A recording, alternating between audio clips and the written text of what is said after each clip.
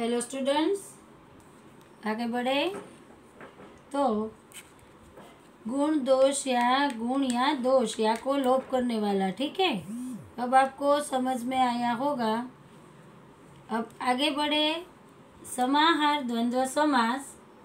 जिस समास से उसके पदों के अतिरिक्त उसी तरह का और भी अर्थ सूचित हो, उसे समाहार द्वंद्व समास कहते हैं।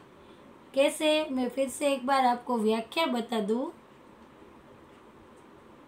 जिस समास से उसके पदों के अतिरिक्त, ठीक है?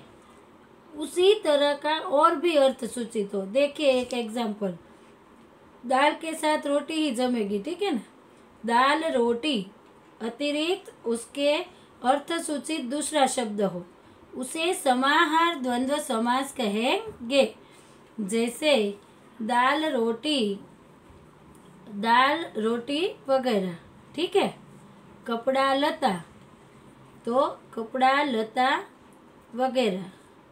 शेठ साहूकार, शेठ तथा साहूकार आदि धनी लोग, ठीक है? रुपया पैसा, रुपये पैसे, गहने वगैरह। ठीक है?